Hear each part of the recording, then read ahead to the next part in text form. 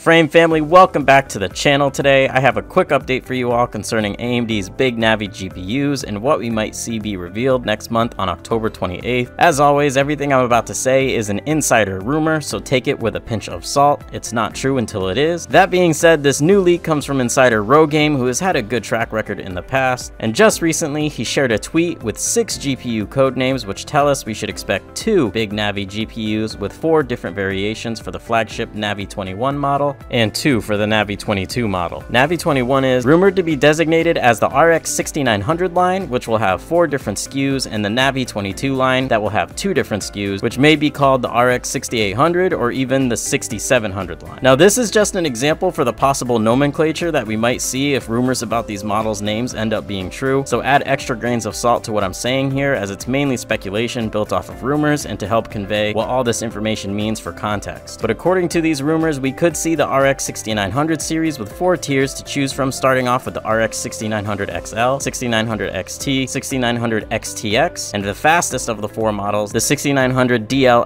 XL. Rogamer mentioned that these SKUs would specifically target the RTX 3080 and up for competition, which is interesting considering that there are four different GPU tiers here. If I were to speculate on this, I would have to guess that the XL and XT models would directly target the RTX 3080 and in between the RTX 3090, with the XTX model maybe being an enhanced memory version of the XT card, and finally the DL XL card may be the contender for the RTX 3090. Keep in mind there are no rumors on that, that's just me popping up with some possibilities based off of what I can imagine with the information we currently have at this point, but feel free to add your two cents here in the comments because anyone could guess right at this point. Another very interesting thing about this rumor is that the Navi 22 model has two SKUs, which was said to contend against NVIDIA's RTX 3060 Ti, 3070, and 3070 Ti, and has no hinted signs of naming identifications such as XT and XL like the Navi 21 models do, so it's a complete guess on what these will be called. But like the Navi 21 speculation, we could see something like the RX 6700 XT and 6700 XTX designation, or possibly something different altogether. After all, it has been rumored for some time now that the Navi 22 GPUs would be mobile only, so they may have the M designation, but I'm honestly hoping that that is not true. This leak also doesn't touch up on the Navi 23 GPU that Rogame had also mentioned prior, but I would have to suggest that this model will be in direct competition for NVIDIA's RTX 3050, 3050 Ti, and 3060 models from all of the rumors that have been thrown out there so far. But I want to know your thoughts. What do you think these six SKUs will be named, and what do you think they will directly contend with from NVIDIA? Let me know in the comments below. That's all I have for you guys today. As always, fam, it's been a pleasure. Please stay safe, stay happy, and keep on gaming.